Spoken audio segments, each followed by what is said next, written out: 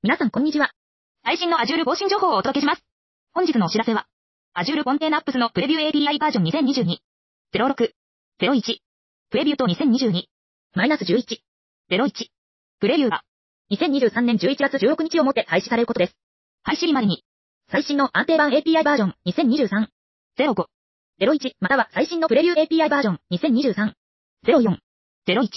プレビューに移行してください。もし、Azure コンテーナップスを管理するために Azure リソースマネージャー API バージョン2022、06、01、プレビューや2022-11-01、プレビューを使用している場合は、API リクエストをバージョン2023、04、01、プレビュー以降に更新してください。開示された API バージョンを使用した管理操作は、配信1以降に失敗する可能性があります。